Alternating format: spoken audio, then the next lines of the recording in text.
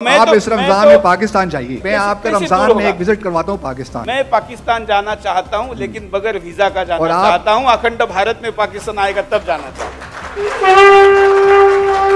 भारत ये